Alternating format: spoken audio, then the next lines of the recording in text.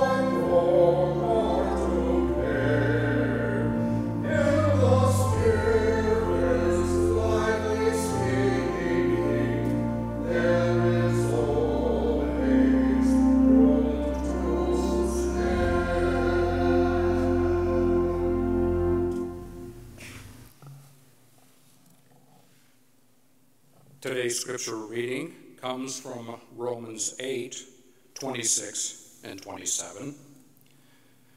Likewise, the Spirit helps us in our weakness, for we know not how to pray as we ought, but that very Spirit intercedes with sighs too deep for words. And God, who searches the heart, knows what is in the mind of the Spirit because the Spirit intercedes for the saints according to the will of God.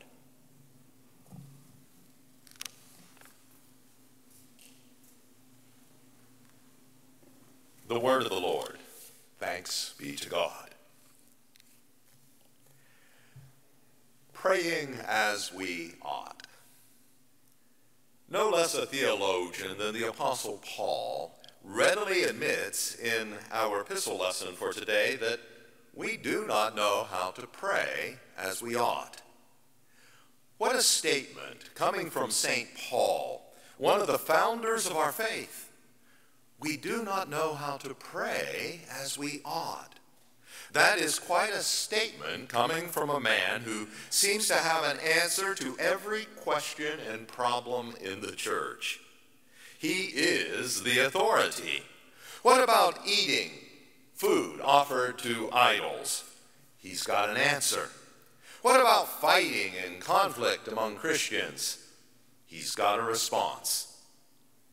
But when we come to a fundamental practice in our life of faith, how do we pray? Paul shrugs his shoulders and confesses, We do not know how to pray as we ought. Now, in a way, that is comforting to us because if a spiritual giant like Paul says that something like prayer is beyond our knowing, well, we might be forgiven if we refuse to say anything in the prayer circle at the end of the meeting. I, I just don't know how to pray, and I have it on good authority. when we pray, we know that we are approaching the throne of God. And what can we say to God? There seems to be a great unpassable gulf between us. God is holy and just, merciful and compassionate. And we are a bundle of anxieties and inconsistencies, sins and mistakes. How can we converse with the living God without feeling inadequate or perhaps even arrogant for the attempt? How dare we approach the throne of God? We just don't know how to pray. But what if we think of prayer as simply a way of opening ourselves to God, to God's loving presence, and simply try to think with God and attune our wants and needs to God's will. Maybe then we will find that prayer is not a way for us to get what we want from God, but primarily for God to get what God wants from us. Whether or not we think that prayer works, helps or changes anything or anyone, I find it helpful to remind myself that the primary purpose of prayer is simply to be with God in an unencumbered, direct, honest, open, and yet focused way. Let's remember that in Jesus' last prayer in the Garden of Gethsemane, just before he was crucified, was the sentence, Not my will, but thy will be done. Paul reminds the Christians in Rome that the very Spirit of Christ is right there with us, interceding for us with sighs too deep for words teaching us, mentoring us how to pray as we ought. We are not alone. Thanks be to God that we don't have to work desperately to communicate with God on our own. God loves us too much for that. We have been given the Holy Spirit to help us speak and listen to the God who so desperately wants to speak with us. In the name of God, our Creator, Christ, our Redeemer, and the Spirit who helps us pray. Amen.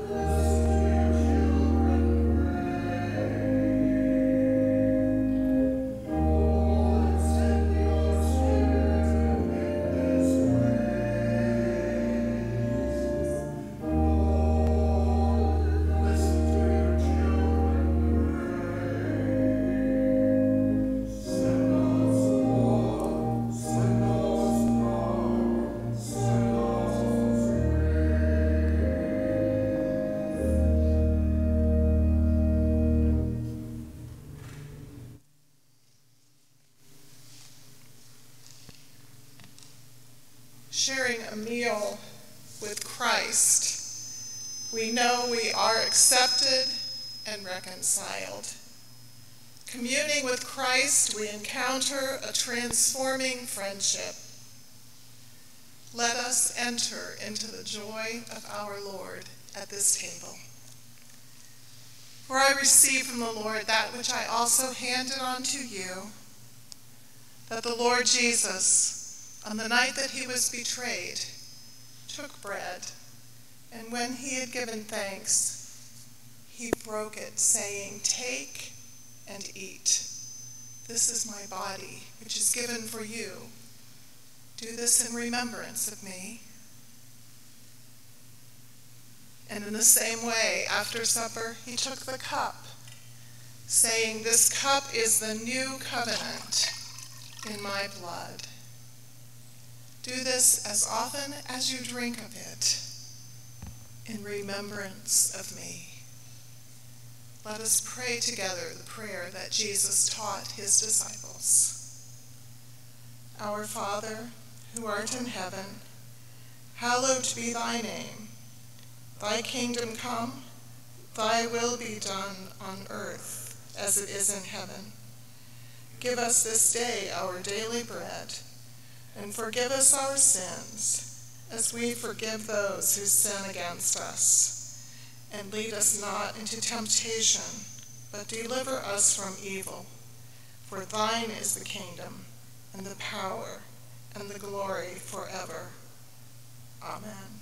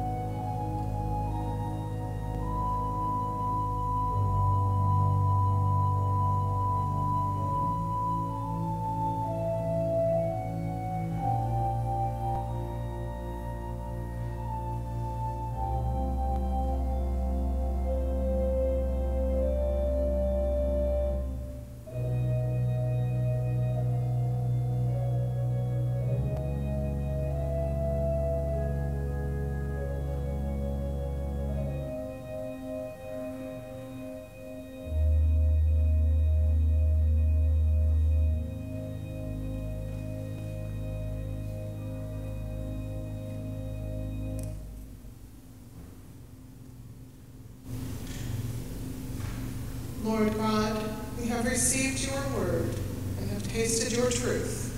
Jesus Christ, the Son of your love. We pray that he may guide us and that we may live with each other in his wisdom and love, and so grow in the faith that the future is his, today, every day, forever. Amen.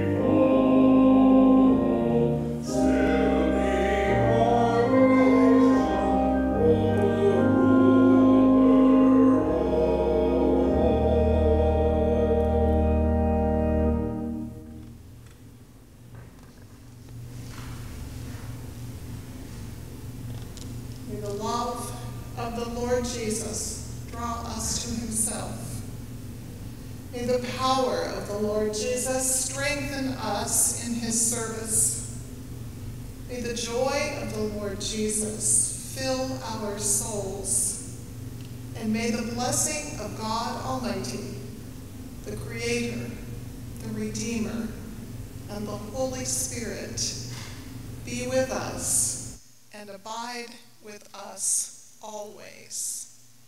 Amen.